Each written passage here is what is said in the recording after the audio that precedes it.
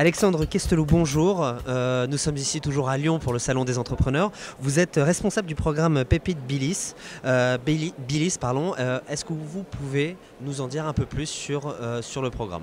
Alors les pépites ont été créées l'année dernière par le ministère de l'Enseignement supérieur euh, pour, si vous voulez, booster un peu l'esprit d'entreprendre au niveau des étudiants et des jeunes diplômés avec un, une innovation hein, qui est le statut national étudiant entrepreneur. Comment est-ce que vous faites?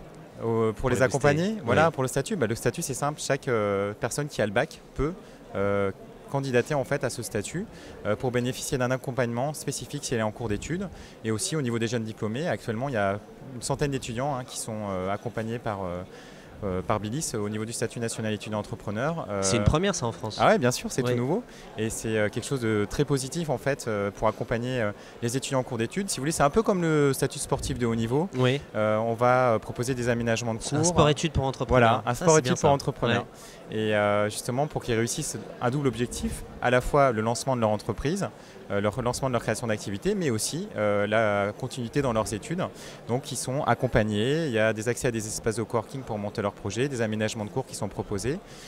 Et pour les étudiants euh, un petit peu plus avancés, on a mis en place euh, le D2E, qui est le diplôme étudiant entrepreneur, qui est porté par euh, l'Université de Lyon. D'accord. Et qui est propre à tous les établissements, si vous voulez, de l'Université de Lyon. Donc il y a des enseignants de l'EM, de Lyon 1, de l'ENS, de Lyon 3 euh, qui vont être présents, qui vont accompagner les étudiants. Alors quel euh, type de projet vous, vous suivez? Ah, c'est extrêmement variable parce qu'on a à la fois des étudiants en cours d'études et des jeunes diplômés. Mhm. Donc euh, 40%, enfin 60-40. hein, donc ça, à, Lyon, ils sont combien vous suivez Enfin, il y a, y y combien d'étudiants qui sont suivis par, Qui, par qui sont suivis, euh, alors dans le cadre du statut, il y en a un peu plus d'une centaine. Oui, déjà, donc voilà, ouais. déjà, et c'est un- c'est 20% en fait des étudiants Mhm. au statut hein, au niveau national. Donc c'est vrai que Oui, c'est- ça rend compte, si vous voulez, aussi du dynamisme hein, et de l'écosystème qu'on Ouais, a à c'est Lyon. vraiment sur Lyon, euh, Lyon et la région lyonnaise, terre Voilà. d'entrepreneuriat. C'est extraordinaire et avec une bonne partie d'étudiants aussi qui sont à Saint-Etienne. Les projets sont super variables. Oui. Euh, on a euh, des étudiants euh, de mécanique euh, par exemple. On a euh, un chirurgien dentiste euh, qui est à Bac plus 12 et qui est en train de créer en fait euh, aussi actuellement. Et on a aussi euh, quelques personnes qui ont terminé leurs études naturellement depuis un petit moment. S'il y avait un projet qui, qui, à quel vous pensez tout de suite, là, qui, qui vous, vraiment qui vous intéresse il y en a plein. Pour ouais. moi, c'est difficile, vous savez, de, de trancher par un rapport à ça. Mais euh, globalement, si vous voulez, on a, euh, bah, je vous parlais justement Mm. euh, l'exemple là des, euh, de- du chirurgien dentiste Oui. actuellement. C'est un projet qui est dans l'ophtalmologie sur des nouveaux modes d'évaluation. On a des projets qui sont beaucoup plus avancés, qui sont un peu connus, hein, Mm. déjà comme Biodégrade notamment, qui est sur les marquages avec de l'innovation d'usage hein, et avec une entreprise qui, est, qui est incubée dans nos locaux, si vous Mhm. voulez. Et donc pour eux, c'est une modalité d'avancer au niveau de leurs travaux qui est super intéressante.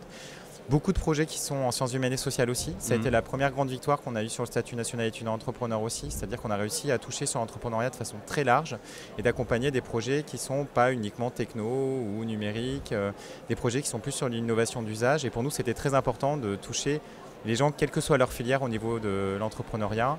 Euh, sur les étudiants en cours d'études, il y a près de 23 établissements qui sont représentés et après, on- il y a aussi de l'attractivité au niveau du territoire lyonnais.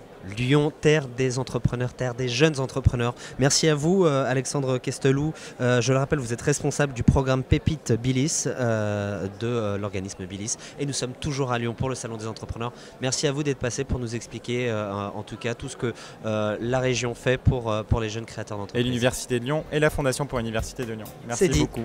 Voilà.